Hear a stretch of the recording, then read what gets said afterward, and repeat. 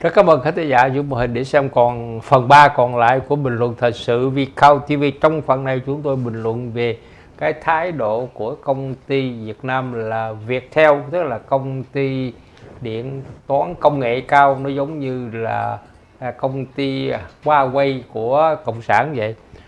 Được trả lời báo cho cái thẳng tờ hãng tin Bloomberg nói rằng là họ nói rằng là họ không sử dụng cái những cái linh kiện của 5G của Huawei Huawei Trung Quốc là tại vì cái kỹ thuật của Việt Nam nó không hợp để mà sử dụng cái kỹ thuật của Huawei Trung Quốc.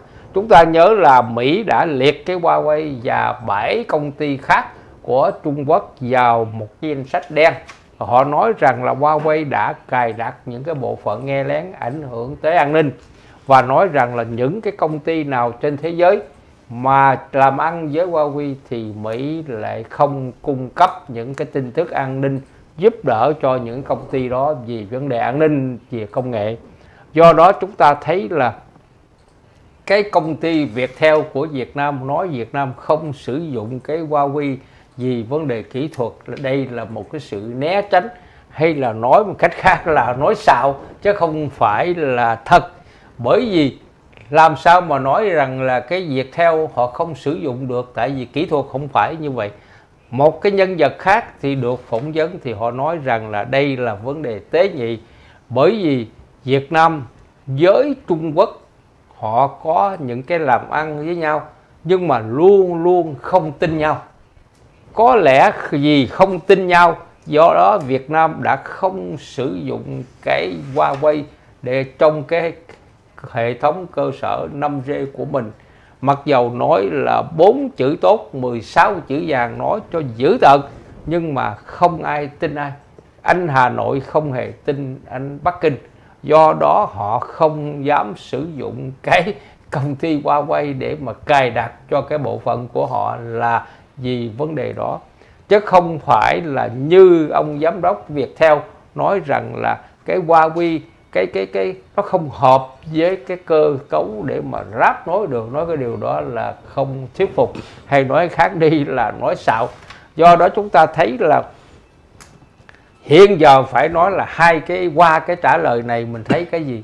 Không phải chỉ có cái vấn đề là cái việc theo hay là Huawei hay là công nghệ, mà tất cả những cái chuyện khác giữa hai đồng chí với nhau còn lại trên cái thế giới này nghĩa là cái cơ chế xã hội chủ nghĩa giống nhau họ hoàn toàn không tin nhau và còn tìm cách đá với nhau nữa.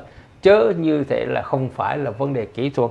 Chúng ta thấy là chưa kể cái gì chắc chắn là nó là nhạy cảm là bởi vì Mỹ đã nói trước rồi. Nếu mà ai mà mua những cái gì của uh, Huawei thì là Hoa Kỳ là không cung cấp những cái hệ thống an ninh cho họ. Nó giống như bây giờ đối với Nhật Bản bị Nam Hàn nói rằng chúng tôi không cung cấp cái an ninh thì Nam Hàn nói vậy, Nhật Bản đâu có sợ, bởi vì Nhật Bản là cái hệ thống họ lớn hơn, họ có thể nhiều cái kinh khác để họ có cái đó. Nhưng mà đối với Việt Nam đó, thì phải nói rằng là Mỹ là một cái quốc gia mà có thể cung cấp nhiều tin, tình báo an ninh rất là tốt cho cộng sản Hà Nội. Nếu không có cái đó thì cộng sản Hà Nội bị cộng sản Trung Quốc đánh lâu rồi, chứ không phải tới giờ này họ đem tàu tới, họ dội tấn công cái lúc nào, họ làm cái gì, họ muốn là phá hoại Việt Nam cái gì, tất cả cái đó thì có lẽ là không nói ra, nhưng mà cái tình an ninh của Mỹ đã cung cấp cho Hà Nội rất nhiều lần. Và nhờ như vậy Hà Nội mới thoát chết nhiều lần. Do đó chúng ta thấy là không ai hiểu hơn những cái người cộng sản Hà Nội. Bốn tốt 16 chữ vàng đó là một cái cách để che mắt cho thế giới thôi chứ còn Mỹ đã giúp cho Việt Nam rất nhiều về an ninh nếu không thì Việt Nam đã không qua được những cái cơn gọi là khó khăn đối với Trung Quốc thưa vâng. ông Vi Quy đây công ty Viettel này làm cái công ty uh, viễn thông độc quyền của quân đội cộng sản Việt Nam à. thế thì uh, về cái vấn đề này nếu ai cũng muốn rằng là cái hệ thống điện thoại tình báo cái hệ thống điện thoại với là mạng lưới viễn thông của mình là được nâng nâng cấp lên ừ. tối tân hóa lên ừ. ai cũng muốn ừ. mà tại sao ở đây lại không dám à, để cho liên lạc với lại Huawei để mà làm cái công việc mà 5G này thì chúng tôi nghĩ rằng là những cái lời của cái ông giám đốc này ông nói ra thì nó không có đúng sự thực bao nhiêu ừ. mà đây chỉ làm cái ờ, vấn đề là quá sợ khi mà bây giờ để cho cái công ty cái ờ, nhóm Huawei mà thiết lập cái hệ thống 5G cho cái mạng lưới viễn thông của Việt Nam thì như vậy tức là trao hết tất cả những cái bí mật quốc gia mình cho họ rồi. À. và trao cho họ cho công ty Huawei thì tức là trao cho Đảng Cộng sản Trung Quốc.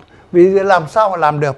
Tuy nhiên ở đây á, thì cái vấn đề chúng ta nhận thấy rằng là cái lời tuyên bố này của ông này thì ông phải tuyên bố chặt ra là cái công ty viễn thông của chúng tôi nhận thấy rằng là nó chưa cần thiết đến những cái kỹ thuật cao cấp như vậy thì nhưng mà cũng là một cái lối tỏ ý phản đối đối với lại Trung Quốc và chúng ta biết rằng tất cả những cái công kỹ nghệ gì đặc biệt là cao cấp thì Trung Quốc đối với Việt Nam gần như là ép buộc Cộng sản Việt Nam phải chấp nhận. Ừ. Thí dụ như là cái các công ty đường sắt của Việt Nam hiện tại bây giờ rồi thì các cầu cống rồi các đập nước thủy điện vân vân là có thể nói là hết 9 phần 10 nằm trong tay các nhà thầu của Trung Quốc thì bây giờ một cái chuyện như thế này thì bây giờ dám phủ nhận đi như vậy thì cũng kể là chúng ta thấy rằng là phải có một cái ý phải có một cái quyết định sâu sắc nào ừ. của Đảng Cộng sản Việt Nam chứ không phải là không và vì thế cho nên chúng ta thấy rằng là cái chuyện mà người ta nghi ngờ đây để làm vừa lòng Hoa Kỳ có lẽ là đúng chứ ừ. không phải không. Yeah. Bởi vậy rằng là nếu mà ông phủ nhận cái quyền hạn của Trung Quốc thì chắc chắn là Trung Quốc sẽ cho ông một bài học. Nhưng mà vì bây giờ ông đang có dựa thế vào Hoa Kỳ cho nên là cái bài học của Trung Quốc muốn có cũng không phải là ờ, dễ dàng mà thực hiện được. Thì chúng tôi nghĩ rằng là đây là cái công ty này như vậy. Thế là sau cùng thì chúng ta có một cái tin tức là bây giờ thêm một ông nước Nhật Bản nữa đã lên tiếng về cái vụ mà bãi tư chính tức là cái tàu HD8 của Trung Quốc ngang nhiên vào vùng biển của Việt Nam để mà à, thực hiện những cái việc mà do thám hoặc là à, à thám sát những cái vùng à, tài nguyên biển. Thì thưa quý khán giả cái chuyện này là cái chuyện mà từ trước đến nay à, chúng ta thấy rằng là đã nhiều nước cùng lên tiếng rồi. Và bây giờ lại thêm một nước Nhật Bản nữa. Thì trong cái cái uh, luận điệu của Bộ Ngoại giao Nhật Bản cho biết là thế này. Trước hết là cái vùng biển Việt Nam bây giờ nằm ở trong cái thông lộ quốc tế và cái đường hàng hải quốc tế đó là cái đường hàng hải nó có lợi cho rất nhiều nước nó là một cái lợi ích của nhiều nước trong đó có Nhật Bản. Vì thế cho nên tất cả những chuyện gì mà gây mất thăng bằng cái hiện trạng hiện tại bây giờ ở Biển Đông đều là phi pháp đều là không thể chấp nhận được. Và vì thế cho nên Nhật đã tuyên bố. Ở đây mà khi mà người Nhật tuyên bố cái chuyện đó như vậy chúng ta chợt nhớ đến cái khi mà tổng thủ tướng uh, Shinzo Abe đã có một cái chủ trương mới về cái lực lượng khi mà ông gia tăng cái uh, lực lượng phòng vệ của Nhật Bản mà chưa trở thành được quân đội. Nhưng mà tuy vậy thì thủ tướng Abe có nói rằng là cái lực lượng phòng vệ của Nhật Bản bây giờ không phải là chỉ là để mà phòng vệ chung quanh đất nước, các quần đảo của Nhật Bản mà thôi, mà còn có nhiệm vụ phải giúp đỡ các nước ở trong khu vực để cùng nhau bảo vệ an ninh khu vực này. Thì ở trong trường hợp đó là chúng ta nghĩ rằng là nếu mà xảy ra một cái cuộc chiến nội bộ giữa Hải quân Trung Quốc với là Hải quân của Cộng sản Việt Nam thì chúng ta biết chắc chắn là một là Mỹ sẽ can thiệp vào và thứ hai là Nhật Bản cũng sẽ can thiệp vào.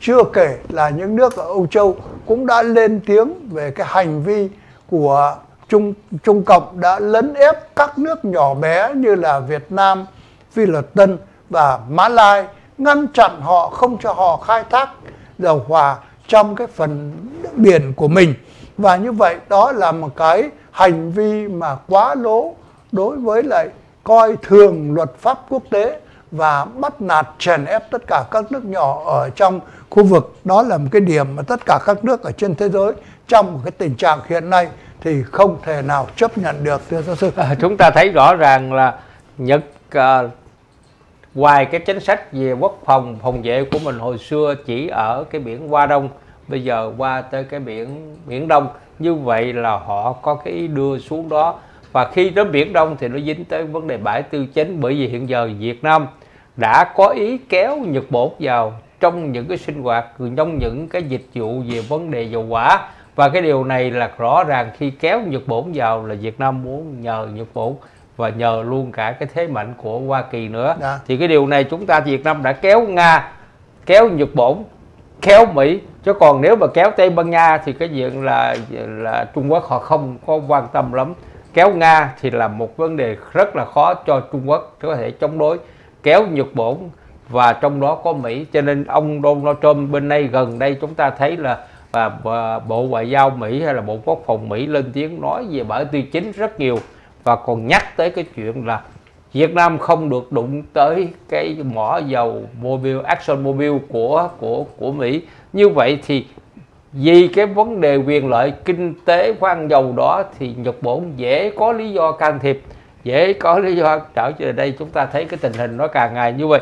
Rõ ràng là Trung Quốc đang làm một cách lố bịch khi mà đi đem cái HD8 tới cái bãi từ chính cái điều đó nó khác với cái đường lưỡi bò. Lưỡi bò chính đoạn nó có thể nói là vấn đề lịch sử, tranh chấp về địa lý, vấn đề.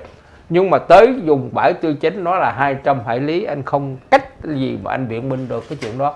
Do đó, Nhật Bản mới can dự vào và chúng tôi thấy cái chuyện bãi tư chính của Cộng sản Trung Quốc đưa vào để mà ép Việt Nam nó chỉ là tạm thời, chứ không thể nào có lâu dài được là bởi vì rồi ra. Nó sẽ được giải quyết chung với cái vấn đề là chiến tranh thương mại với Mỹ thưa anh Viên Vi. Yeah. Dạ. Cảm ơn khán giả chúng tôi hẹn tới ngồi vào lần sau.